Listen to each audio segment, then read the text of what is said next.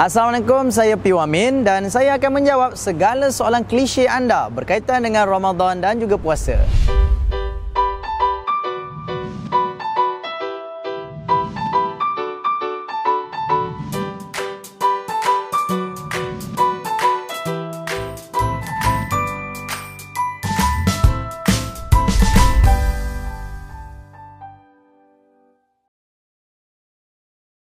Ada orang perempuan malam tu dia dah putus haid dah dan dia tak sempat nak mandi hadas dan dia terus untuk melakukan ibadat puasa. Dia sahur dan dia terus berpuasa.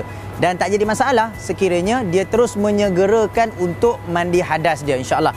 Tapi kalau dalam satu hari langsung dia tak mandi hadas, maka ketika itu dia masih lagi dalam najis dan orang dalam najis hadas besar, dia tidak boleh melakukan ibadat seperti berpuasa. Ha, jadi nak kata bila dia dah putus haid, dan dia dah nak berpuasa dah. Mana dalam pagi tu dia masih berpuasa dia terus bersegera untuk mandi hadas. Dia masih lagi diterima puasa untuk hari tersebut